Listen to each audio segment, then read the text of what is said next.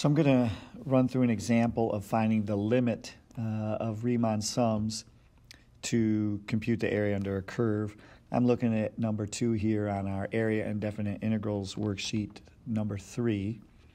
The function is x squared plus 5, and the interval is 0, 3. And so just remember that this number here is A and this is B. And actually, I just screwed up that uh, interval there. Uh, that's not what I want. Where's the eraser? Why isn't it erasing? Um, well, I'm going to try one more thing here. Nope, not that. All right. So anyway, this is a this is a terrible, terrible, terrible thing. This is a square box there. Okay. Um, so remember our first step here is to compute delta x, which is b minus a over the letter n. And so for us, our delta x is 3 over n, and we're going to remember that for later. So I'm just going to put a box around it. Uh, we have to do the calculation for c sub k. Uh, c sub k, uh, we get that off our little chart, is we're going to use the right hand endpoint, so that's a, which is 0 plus k times delta x, which is 3 over n. So that's going to be 3k over n when we do that calculation, right? 0 plus k times 3 over n is 3k over n. Then we have to plug that c sub k into the function to figure out the expression f of c sub k. So we're going to have um, 3k over n squared because the function is x squared plus 5. So 3k over n squared plus 5. And I'm going to simplify that a little bit. This is 9k squared over n squared plus 5.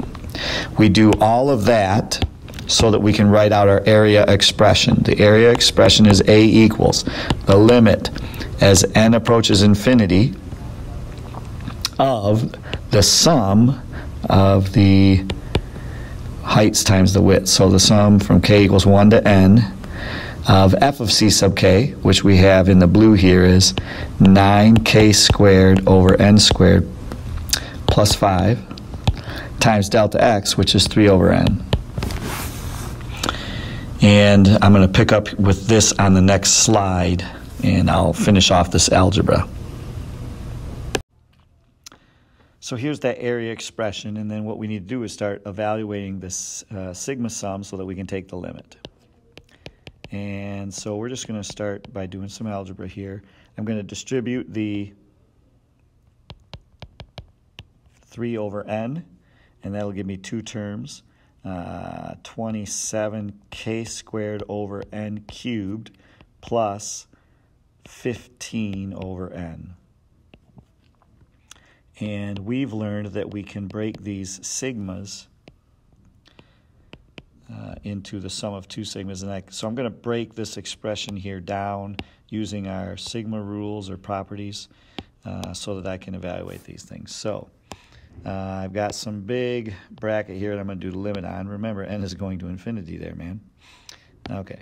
And so on this first term here, 27k squared over n cubed, I'm going to factor out the 27 over n cubed. Those do not involve the letter k. And then the remaining term is just a k squared. And we have a formula for a sigma k squared. On the other end, with the 15 over n, that's just the sigma of a constant. And so uh, remember that the sigma of a constant is just the top number, n, times the constant. So I'm going to do n times 15 over n and just get 15 there. So this part of the sum is just a 15. And down on this first sigma, the 27n cubed is a constant multiple. Oops, that's an n, not an m. Is this thing going to let me erase this time or not? Yes. For some reason it wasn't working last time, but it's working now. Pause. Okay, so those announcements went off, but I'm back, and so this was, you know, this is supposed to be n cubed. And then remember, we have a formula for a sigma k squared. And that formula is oops, this is supposed to be a black ink. Uh, n times n plus 1 times 2n plus 1 over 6. And then there's a plus sign here and a 15, and I got to put the rest of my uh, limit notation in. We're taking the limit as n approaches infinity. Okay, so uh, we're getting close here. I'm just going to need to uh, evaluate this limit, which I'll continue on the next slide. Okay, so picking up with our expression here, I want you to notice that we can do a little bit of reducing here. Um, 3 goes into 6 two times, 3 goes into 27 nine times. That just makes the arithmetic a little easier for me mentally. Um, so the other thing you're going to have to do is you're going to have to distribute this multiplication out here, and I've done that ahead of time, and that is uh, 2n cubed plus 3n squared plus n And then I've got a 2 here on the bottom, and I have 9 over n cubed here. I'm going to multiply that out in a second. I think that's a 15 on the end there. I hope it is because I don't feel like redoing this video. Uh, here we go. Okay, so we're getting close. Uh, take a look at this. I'm going to distribute the 9. So multiply that to all these terms. And I'll multiply the n cubed along here on the bottom. And that gives me, uh, 18 n cubed plus 27 n squared plus 9n over, that's an n there, 2n cubed.